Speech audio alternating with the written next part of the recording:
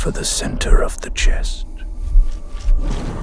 And do not be gentle. Ah.